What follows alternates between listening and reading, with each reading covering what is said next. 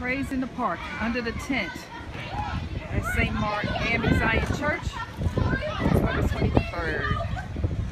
Elder Self Brown brought the word. Now you have basketball and jumping houses and games and Jody's Italian Ice. Beautiful day in East Chicago, Indiana.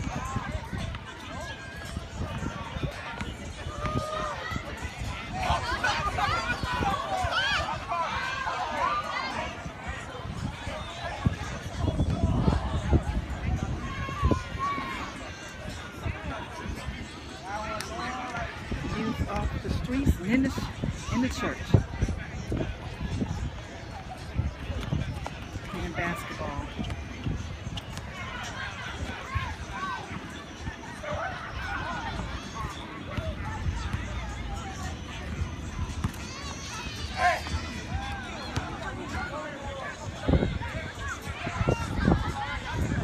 Father God, keep these children in your embrace, Father, throughout this school year, throughout this season, Lord. May the unity and the enjoyment that they're having now, Father, carry with them as they go forth, Heavenly Father. May they not become a victim of statistics, Lord, but victims of your grace and mercy, Heavenly Father. Protect them, Lord. May they go about doing wonderful things in your name, Father, to uplift the community, to be in the households and families, Lord. Keep them, Heavenly Father. Lord, you, Father, are in need of much prayer and much villagers around them, Heavenly Father. So I lift all the youth, Heavenly Father, in this city, in this community, and across the world and within the sound of my voice, Lord. Keep them in your powerful embrace, Lord. And out of the out of the harm and the path of danger.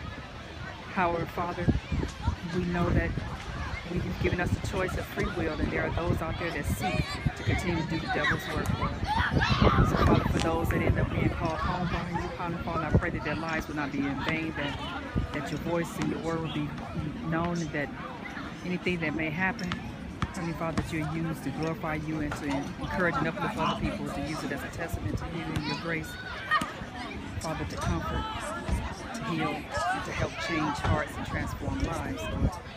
Use everything within your purpose. In the name of Jesus. Amen.